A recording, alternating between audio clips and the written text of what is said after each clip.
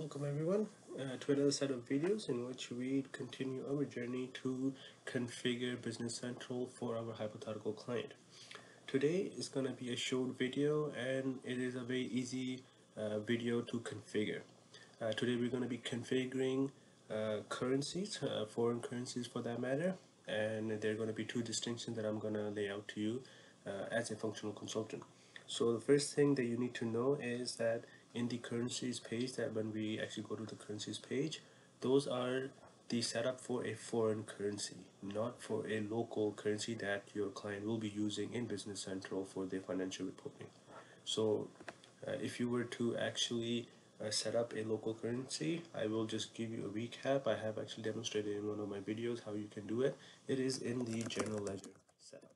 So let's go to the general ledger setup and see uh, how you can configure local currency. So as you can see in this uh, general ledger setup table uh, the page actually has a local currency symbol that you can assign and the local currency description which is Canadian dollar in this case. So this is uh, where the um, Business Central will look at when they're doing its transactions for reporting purposes.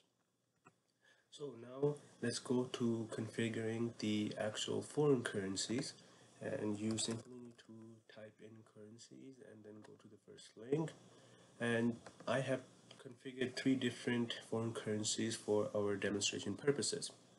So as you can see it's a Mexican peso US dollar and euro.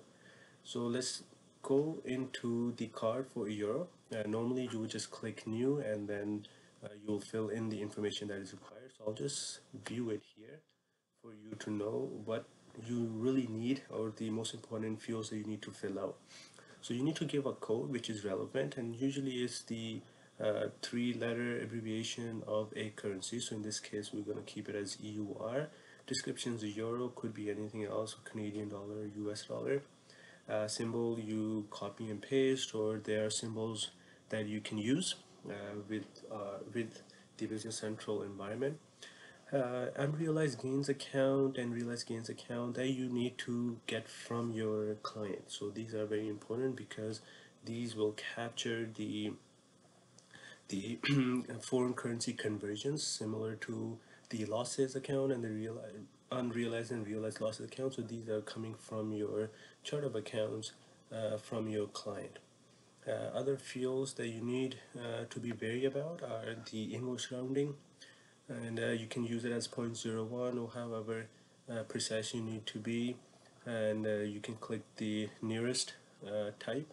So that would be the nearest to 0.001 uh, same thing as the rounding and decimal places so these are things that are minor but it's always a good idea to go back to your client and ask them what should be in these rounding figures and uh, the second thing that you need to be careful or be able to configure is the foreign currency exchange rate. So this is you setting up the accounts and the name and everything and now comes the actual part that you need to configure which is exchange rates. So right now the way I have configured is you as a user or whoever the uses manually changes the uh, exchange rate.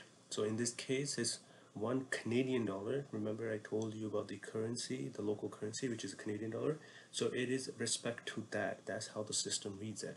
So one Canadian dollar is in a relation with exchange rate of 1.495 uh, of euros. So this is how you uh, can actually set up and configure the uh, exchange rate. There's also another way of uh, doing it with a live system uh, using a bank for instance.